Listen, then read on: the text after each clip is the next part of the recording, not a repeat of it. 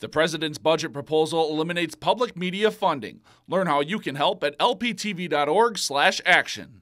A number of current, former, and future BSU women's hockey players had joined the U.S. women's national team's boycott of the upcoming World Championships this weekend.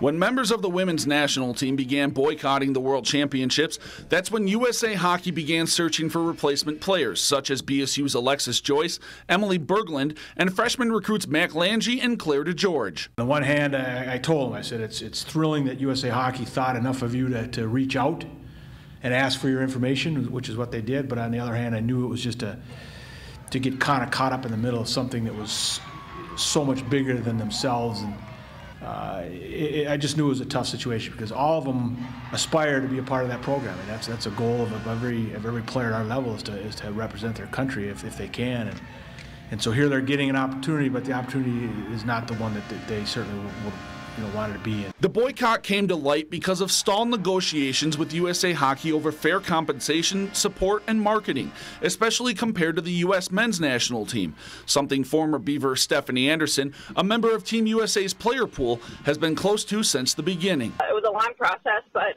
I think everyone everything went the way that you know we wanted to, and it was uh, planned out perfectly for when we wanted to make the decision. With the click of one button, Joyce, Berglund, and Lange sent out this tweet, all saying they would not participate in this year's World Championships. This was not a time to be selfish, and we had to think about that and say, you know what, this isn't about me. If I'm a good enough player, and if I make myself a good enough player, I'll get my opportunity um, when I'm not a second second up or second choice. Saying no, I think too is a big thing. Like you're standing with all the other girls of women's hockey. Like you're representing something so much bigger than saying yes that was for your own personal decision. But that doesn't mean the decision to say no came easy. It's been a dream since I was little to throw a USA jersey on and be able to represent my country and um, it's very hard to be able to say no to them because you don't know if saying no is taking you off their radar or putting you on a bad side for them because you went against them and stood up for the other side.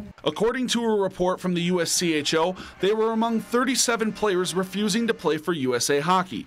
Their voices were heard loud and clear, and last night a new deal was agreed upon. All along they wanted to go to Worlds so bad, but they just they knew that this was so much more important and taking the right step uh, in the right direction and uh, they got they got it done, and we stuck together, and that's that's what the most important thing is. Which they all say is a giant step in the right direction for women's hockey. It's good to see that women's hockey is finally getting a little more recognition. We did this for the generations below us. I know we're probably not going to benefit from it as much as the generations below us coming up through the USA program. Um, so we did this for all of them. It's obviously good for the future because obviously stuff needed to change. So I guess it's good to see that like things are making progress in the women's hockey world. We've put ourselves on the map and deserve some recognition, and they've got what they've deserved, and I'm very happy for them. And even though they won't be competing in this year's World Championships, this opportunity has given them more motivation for the next time around. It was a good feeling to know that we're on their radar and we were worthy enough to even get the email.